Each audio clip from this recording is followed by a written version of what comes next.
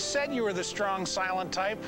I shot my partner last night. This morning, there he is on my doorstep. Declan tries to change the past. Don't shoot! Don't shoot! Mysterious Ways, Tuesday at 8, 7 Central.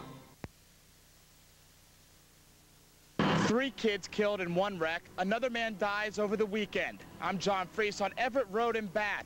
We'll tell you what neighbors are saying about this dangerous stretch of highway coming up next. Norton's mayor is fighting for her political life as voters will soon decide if she stays in office. And Comair will spread its wings at the Akron-Canton Airport starting again soon. 23 News starts right now. 23 News is made possible by our founding partners, Summa Health System Hospital, the University of Akron, and First Energy. Live from downtown Akron, this is PAX 23 News.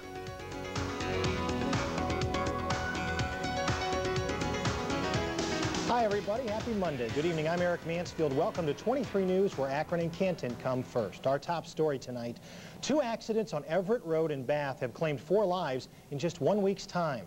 23 News reporter John Freese reports that while police are blaming driver error, neighbors are wondering what can be done to prevent another deadly mistake. They say lightning doesn't strike twice, but this small stretch of road just might be a place to steer clear of. Vans on the driver's side. Bath police were back on Everett Road today, taking measurements to figure out how a Richfield man lost control of his van early Sunday morning.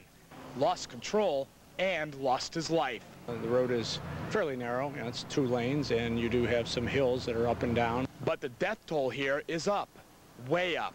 Oh, it's just horrendous sound. The metal on metal is... It's the sound of another crash Carol Boyd heard a week earlier. One she'll never forget. And roadside memorials will help others remember three lost lives. Maybe.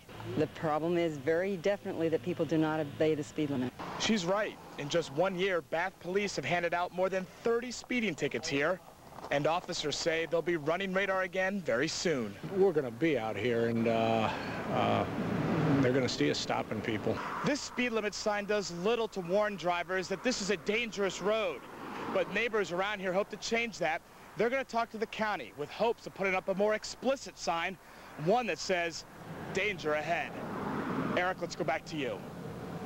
Okay, thanks a lot, John. Now, the Summit County Engineer's Office will be taking a look at the Everett Road situation sometime this week. Well, motorists could see flames from I-76 as they drove by the Main Street exit around 2 this afternoon. Here's why. Flames shot out from the second story of this Akron home. The smoke from the fire was visible downtown as well. No one was injured in the fire at this multiple family house on West South Street. The flames gutted the second story. Fire investigators blame a burning cigarette for the blaze, which did $30,000 in damage. Investigation continues tonight. Well, the bus fare could soon be going up for students in the Akron area. Right now, junior and senior high school students pay 65 cents to ride the bus. The Akron Metro Regional Transit Authority, though, is considering increasing student fares to the regular rate of $1 since many times drivers just don't have change. Metro RTA will hold a series of public hearings to discuss the proposal, including one tomorrow in Barberton. Well, from Canton tonight, the home of the Pro Football Hall of Fame could soon have a world-class zoo as well, if one councilman has his way. Richard Hart wants a new zoo. He's proposing a half-billion dollar facility covering as much as 500 acres. Now, his plan includes lions and tigers, a drive-through area with bison and moose, and an amphitheater, even an aquarium. Canton has not had a zoo since the 70s when Nemesilla Zoo closed. Well, also from Canton tonight, the National First Ladies Library will have a new home. The City National Bank building will house the Canton Museum. The National First Ladies Library Education and Research Center announced today that it's awarded contracts for the new facility, including to the, to the Gage Cern Architects. Now, since 1988, the museum has been housed in the parlor of the home of First Lady Ida McKinley, wife of President William McKinley of Canton. Well, thousands of Akron City water customers will soon be getting a notice in the mail. It looks a lot like this. Don't be afraid. It does list the levels of contamination in your drinking water. All test results were in the acceptable range from these tests. Now, by law, cities are required to notify residents every July 1st as to the status of their drinking water. Akron City leaders say this year's report is now at the printers and will be mailed out sometime this week. Well, a former Akron councilman is looking to run again, but not for council. 65-year-old John Frank says he's giving serious consideration to a run at the Akron School Board. Frank served as a councilman from 1977 to 97. He tells 23 News that he'll make a final decision on August 1st. Well, Akron City Council is still working on legislation restricting the sale of a replica 9mm handgun. Now, this comes after an Akron policeman almost shot a 14-year-old carrying the replica last week. It's actually just a lighter. The Akron Law Department is still researching how other major cities handle toy and replica guns, so the ordinance is not expected to come up at tonight's City Council meeting. Well, tomorrow, residents in Norton could make history, becoming the first city in Summit County to ever recall its mayor. But Amy Addis isn't going down without a fight. It's now up to voters to decide if Addis should stay or if she should go. I'm going to give one day to every citizen to come in and talk to me. Two years ago, Amy Addis's rise from secretary to city leader was a sign of change. But now those signs are quite real, both for and against keeping her in charge. It's a very nerve-wracking time for me and for the whole city. Our future hangs in the balance here. Some residents want Addis gone, feeling she's played favorites and mismanaged the city. Joe Danko says he's seen enough. I'm not again being a woman, her being a woman now. But Danko does think Addis has forgotten about the little people. The mayor walks there with her nose up in the air. Just keeps walking, won't even look at you to stop and talk. Uh, I think we'll keep her. Ann Boychie is among those who see no reason, though, to shop for a new leader. I get give her a long, get a more chance, give her a little more chance, see, you know, see what she can do. Still, other residents think all this political ping pong is a big waste of time. They think it's a shame that the city council and the mayor and the whole city uh, can't get along. Addis says she's tried, and she'll keep on trying if the voters give her the chance. We ran out of signs last Tuesday. We have about 220 out there. Um, and I have a lot of support, more support than I did so when I won, I believe, back in 99. Now, the polls open in Norton tomorrow at 6.30 a.m. They stay open until 7.30 p.m. A simple majority will decide whether Addis is recalled. If she is recalled, a Norton councilman will fill in until a new election is held in the fall. We, of course, will follow it throughout the day. Well, coming up next on 23 News, the wild blue yonder was both wild and blue this weekend, but not too far yonder. The web picks up where consumer numbers leave off. We'll explain. And pilots landing a new contract means a commuter carrier will start taking off soon again in our area. Mike. Thanks, Eric. Mr. Nolan picked a good week to take some vacation. Nice day today. Things are going to warm up this week, but not bad for the first full week of summer. Your forecast is coming up in just a couple minutes. Stay tuned. You're watching PAX 23 News with Eric Mansfield.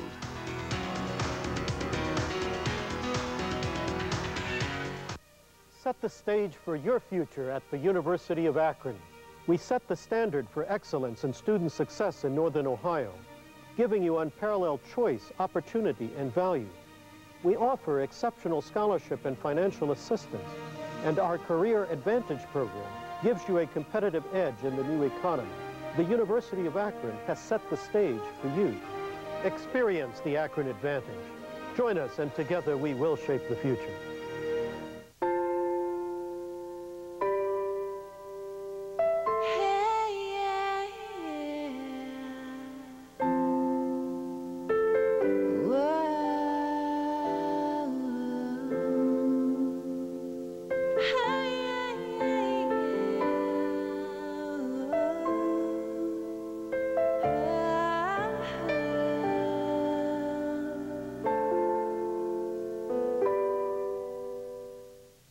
Why is Ford F-150 number one? Check it out. Right now, your local Ford store is offering a fully equipped Ford F-150 Super Cab at the low lease price of just 279 a month for 36 months with 2069 due at signing. It all adds up to one heck of a deal. That's right. Just 279 a month for the truck that was named a Consumer's Digest Best Buy. The best trucks are built Ford tough. Your local Ford store, always leading the way. Everyone likes to know what's happening close to home. That's why people tune in to PAX 23 News. It's also the reason why more and more people choose Realty One for hometown real estate services. Whether you're buying your first home, looking to build a new home, or scaling down after a lifetime of achievement, Realty One's experienced professionals have you covered in town and around town. Connect with the best from your hometown. Call 1-877-328-2634 and connect with a Realty One realtor.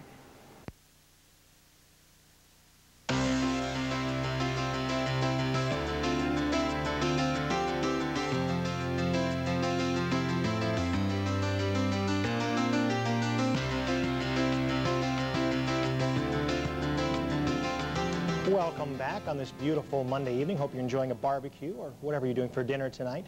Comair will soon be flying back into the Akron Canton Airport. Beginning July 8th, the commuter airline will resume some flight services. Comair's normal flight schedule starts by mid-August. The Akron Canton Airport lost 15% of its normal passenger traffic during the Comair strike. Well, Hudson's quaint, quiet tradition could get a lot noisier. Tonight, City Council will debate the direction of the downtown area, including possible amendments to the Land Development Code. Now, if Council makes changes, several new businesses could open downtown near Hudson Square. Well, nearby, dozens of Stow residents are saying, not near my home, to Home Depot. They're upset about the giant home retailer planning to build on Kent Road across from the Stow Community Shopping Center just west of the Stow Glen Retirement Community. Now, the city has to rezone 21 acres of land for the project. The Planning Commission could vote in a few weeks, and residents are expected to come back then to protest the plans. Well, frightening information is being out tonight, or is out tonight, about recalled children's toys and products. One in five recent child safety product recall hotlines, well, they aren't working, or worse, don't have the correct information. 23 News web reporter Marty Shuttlecotti has a new website that will clear up the confusion in tonight's web world. Eric, if you're trying to check on whether a children's toy or product is safe, or you're just trying to return one that's been recalled, there's a real good chance that the information you get won't be accurate, or you won't even be able to get your money back. Now there's a new website, www.safechild.net, that can save you time, money, and possibly your child's life. It's available for anyone who has kids or works with them. It includes all recalls of all products intended for children from 1990 to the present. Everything from cribs to bunk beds to playground equipment. And instead of hunting down the latest recall information, it'll come to you if you sign up for a confidential email notification service. The scary part about all this, Eric, is they found out about all the problems by accident when a consumer watchdog group was calling about the website. Needless to say that the companies in question are actively working to become compliant. Okay, thanks a lot, Marty. Now, if you have a web-related problem or story, don't hesitate. Give us a call. Contact us at 23news at WKYC.com. Well, up next on 23 News, a lot of cars eat up your wallets. Now you can bite back. We'll tell you why. And, uh, and preparations continue for the NEC Invitational out at Firestone. We'll take you to the links. A new enemy for Akron's Peregrine Falcons. We'll tell you about it coming up.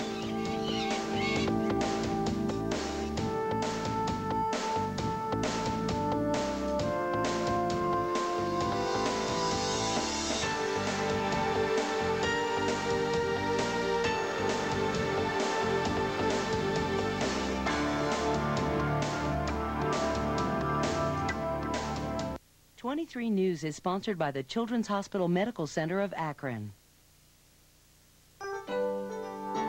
The life of every child is full of many battles.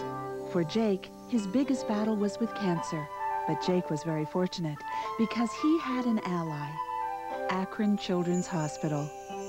There, Jake received the best treatment possible so he can prepare for his next battle, the fourth grade. Children's Hospital Medical Center of Akron, the clear choice for children. When life is rough, and that's often, and when guilt and shame are raging against you, you need a rock. We need a savior, a breakwater who gives peace. And Jesus Christ is the only one who's able to say to the storm, stop it. He's our breakwater, our peace, our rock, and forgiveness. I urge you to know him. I'm Knute Larson from the chapel. Progressive Auto Insurance is doing things differently. We can comparison shop for you. We'll give you our price, and if you'd like, the rates of up to three other leading companies. If we can't save you money, we'll tell you who can. Go to progressive.com or call 1-800-AUTOPRO. It's time for a change. And we're doing it. Go to progressive.com or call 1 800 AutoPro. Progressive, not what you'd expect from an insurance company. What if a car could adjust to you? What if a car could determine the best way to protect you? What if a car offered over 40 standard safety features? Ford Taurus, featuring a five-star safety rating. Right now, lease a Taurus for 287 a month for 36 months with just 587 due at signing. That's right, a Ford Taurus for 287 a month for 36 months with just 587 due at signing. Leading the way, your local Ford store.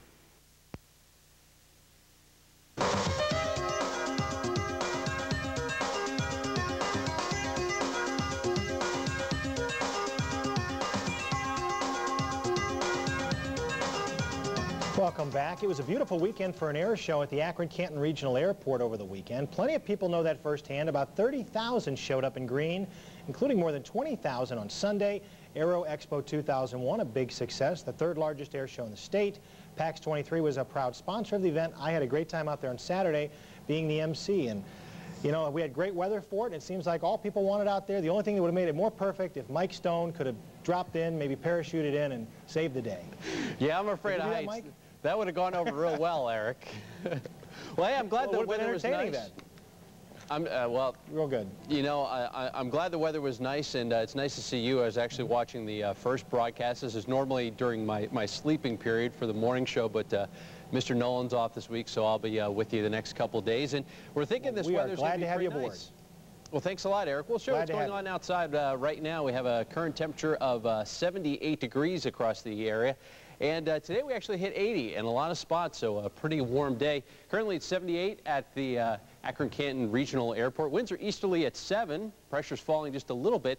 And the dew point's 56. Once that number gets below 60, we don't notice the mugginess outside as much. So still pretty comfy in terms of humidity and dew points for uh, the next couple days. But that will change a little bit. Our high officially today at the regional airport was 80 degrees. The morning low 54. Pretty darn close to the normals of 59 and 81 degrees. Back in 1988, it was 100 degrees on this day. Sun will set tonight at 9.02, rise tomorrow 5.55, and again set tomorrow evening at 9.02. Temperatures around the area right now, for the most part, are in the upper 70s and lower 80s, ranging from 78 in Canton and New Philly to 81 in Medina temperatures, then a few degrees at 80. And this is going to be the trend the next few days, but we're going to keep adding just a couple degrees to the temperature. Reason being is our uh, source of this air mass is going to be coming from the south and west. So they're in the lower 80s there, so that air will start to move in as we go across the next couple of days. It'll start to warm up just a little bit and turn a bit more humid. We have a few scatter clouds coming in from the south and east. There's actually a storm system across the southeastern United States that's actually throwing a few clouds back at us from the south and east. So over the next couple days, we'll see intervals of clouds and sunshine. There might actually be a shower or two. We do need the rainfall. We're just barely hanging on to a surplus for the month of June here for the uh, Akron-Canton area, but for the year, we're about two inches below normal. So we need a little bit of rain. We might actually see just a little bit in bits and pieces the next couple of days. High pressure is going to keep us pretty nice tonight into tomorrow, but as the storm kind of moves towards the west, there may be a few isolated showers or storms late tomorrow into Wednesday, but a better chance Thursday into Friday as this system moves a little bit farther north and this cold front gets a little bit closer. It'll just make the stage for instability a little bit higher and maybe a couple scattered thunderstorms here and there. So our forecast for tonight, mostly clear skies, an overnight low of about 57 degrees, and outside the greater Akron uh, city area, temperatures will be just a little bit cooler. For the day tomorrow, sunshine, again, maybe an isolated thunderstorm late in the day, a high temperature right around 85 degrees. If you're going to the Aeros game tomorrow evening versus Trenton 705, we should be starting off at around 83, 84 degrees, and then temperatures falling a little bit. Only about a 10% chance of a thunderstorm. Really wouldn't worry your pretty little heads about it. Think it's really a better chance that it won't happen. We'll keep that slight chance of a thunderstorm in on Wednesday, a high temperature of 86 degrees, and then bumping up to the upper 80s for Thursday. Slightly better chance of a few afternoon thunderstorms Thursday and Friday, and then that front finally comes through on Saturday, a high of 81 degrees, and then cooling off a little bit for Sunday, high temperatures in the upper 70s. So not a bad first week of weather. And uh, Eric, I just need to get this satellite delay thing uh, fixed, and then I think I'll be good to go. Oh, we'll work it out with you. You know, actually at the air show, you talk about isolated thunderstorms. Saturday, we had one come out of nowhere and drenched everybody for a good 10 minutes and didn't seem to touch up in the downtown Akron at all. No, actually, there was, uh, if memory serves me right, Saturday, there was like four or five in the state, and they were so widely scattered, and as soon as the sun went down, they went away. And I think that's going to be the trend the next two days. There's going to be just a couple, but better chances Thursday into Friday. So not a bad week at all. Okay, that cooled us off, though, on Saturday. It's good to have you with us, Mike. Thanks very much, Mr. Mansfield. See you later. All right, talk to you. Hey, Akron's Peregrine Falcons, well, they aren't faring so well. The four chicks have become the target of a grown male named Flash. Now, Flash is not the chick's father and sees the babies as a threat. Flash is actually from the Canton area. Now, as a precaution, three of the chicks have been removed from the nest at the First National Tower. They are very cute, aren't they? The fourth chick, named Merritt, While she's still hanging around in the area. You can see her flying downtown. Wildlife officers, while they're hopeful Merritt can stay out of Flash's way. They're still worried about her, though. Hopeful she'll be all right until she gets big enough to defend herself. Well, it's summer, and that means a familiar problem for local blood banks, and it's a week to remember safety at work. Monica Robbins is off tonight, but we have your health news. The Red Cross needs your help tonight here in the Akron and Canton area. The Red Cross provides blood for 12,000 transfusions every week for 61 hospitals. But during the summer, many tend to forget to donate, even though the need is often most critical. The blood isn't just used for car accident victims. Don't forget the thousands who need it for basic surgery or transplants. Now, you can help out a lot. Here's the number. Give it a call, 1-800-GIVE-LIFE. And this week is Workplace Safety Week in Akron, Canton, and all over the country. An average of 14 people are killed and more than 10,000 disabled each day at work. The Akron Red Cross is urging employees to review safety rules every Tuesday at 8 o'clock in the morning. You probably didn't know this, but the Summit County Sheriff's Department offers free CPR classes at the Akron Red Cross building over on Market Street. Well, coming up next on 23 News, the rock and roll capital has just added another rocker. And we'll show you a sweet machine that tastes as well as it runs. Stuff. And then coming up tonight at 7 on Channel 3 News, having a pet is nothing to sneeze at, especially if you have children. We'll tell you why tonight at 7 on Channel 3 News. Sir, you are honest and hardworking. And like all customers, when you need electricity, you don't want to be left sitting in the dark. Well, First Energy is proud to be a major supplier of your electricity. So sit back and relax, because we've been supplying electricity reliably for 108 years. That's five score and eight years to you. First Energy. From the Lincoln Memorial to your hometown to you. First Energy. Our energy is working for you. They said you were the strong, silent type. For Your Good Health is brought to you by the Altman Health Foundation. One out of eight women will develop breast cancer in her lifetime. I can't stress enough the importance of women performing monthly breast self-examination beginning at age 20. The American Cancer Society recommends that annual mammograms start at age 40. Studies show that when regular mammograms are obtained, breast cancer is diagnosed at an earlier stage. For Your Good Health was brought to you by the Altman Health Foundation. If you want to get the best of summer, get the best of compact pickups. Toyota Tacoma. Now, with more power, payload, and towing. Lease a Tacoma 4x4 for 209 a month for 48 months with $14.99 due at signing. Or choose the full-size V8 Tundra with more power, payload, and better resale than Ford F-150. And now, Tundra comes with low 3.9% financing. Don't miss Toyota's best summer ever. See your Toyota dealer today.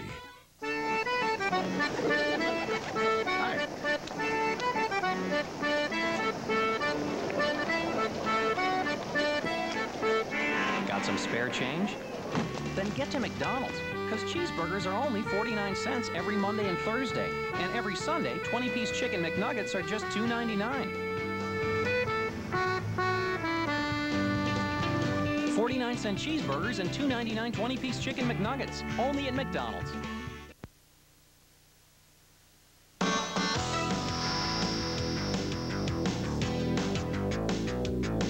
Everybody. The Indians in New York tonight taking on the New York Yankees. Game one of a three-game series. And that's enough of a series there when you say Indians and Yankees. But now you throw John Rocker into the mix. Rocker was with the Braves last week when they were in New York taking on the New York Mets. Now he just has a couple of days in Kansas City, and he's back in New York right now, this time in the Bronx. What kind of reaction does he expect from Yankee fans? Why is, reaction always such a big deal to you people? Reaction, who cares? The mound's going to be 60 feet, 6 inches away. The ball's going to weigh 5 ounces.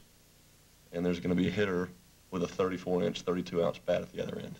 Cares about reaction. All right, we'll see if he comes in in a safe situation tonight for the Indians. The Aeros getting set to get going against Harrisburg. Then they're on the road. They take on Trenton. Matt White is on the mound for them tonight. Coming up in golf in just a few weeks, right at the end of summer, and it's always a great event, the NEC Invitational. Today it was Media Day, so let's learn a little bit about more about the plans for this year in our McDonald's Sports Spotlight. Here's Channel 23 sports reporter Katie Rosbrough. NEC Golf Invitational tees off in just eight weeks, and the excitement for its return is overwhelming. This tournament has produced some of the finest golf and some of the greatest drama. Uh, you just can't can't beat the excitement that, that's generated on, on a Sunday. And I look at the caliber of the field, and, and you, you have everybody here that you'd always want. So they're going up against each other, fighting, tooth and nail. Over 25,000 people a day enjoyed the NEC tournament here last year at Firestone, and obviously those numbers won't change as Tiger Woods will be back looking for a three-peat.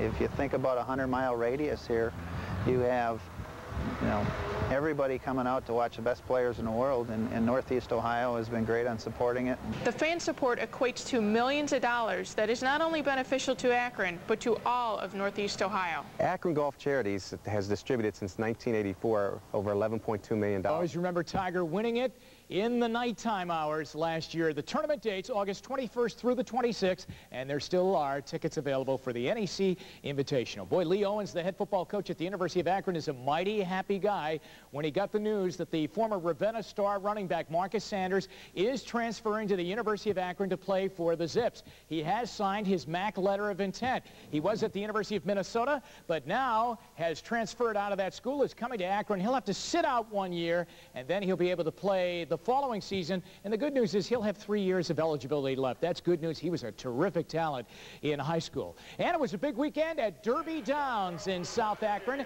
as the qualifying for the All-American Soapbox Derby and the Akron Championships were held. So our congratulations go out to 14-year-old Jillian Esk of St. Paul School who won in the Masters division. And 12-year-old Joshua has kept it right there. Trophies in the family. Congratulations to Joshua, too. Joshua won the stock division, and 12-year-old Jennifer Phillips of Roswell Kent Junior High School won the super stock division. And, of course, that's coming up in just a couple of weeks down at Derby Downs. Back to you, Eric. That's sports for this Monday. Jim, you ever ride in one of those cars? Yes, I did. I went down one time before the All-American Soapbox Derby. Not in the newer, sleeker versions, Eric. I went down in the oil can, I believe they call it, one of the older ah. models. And uh, I came down about 10 minutes after they set me off. they go pretty fast. Hey, thanks a lot, Jim. You got it. Well, you've heard of the Edsel. Check out the Edible. That's right. These pieces of goodies are more than just snacks. They're competitors in the finale of the week-long Women Engine Engineering Camp held at the University of Akron's Auburn Science Center. The cars were made from food, everything from lifesavers to chewed gum and graham crackers. Hey, thanks for joining us for your news tonight. We'll see you for 23 News at 6.30 tomorrow night. Good night.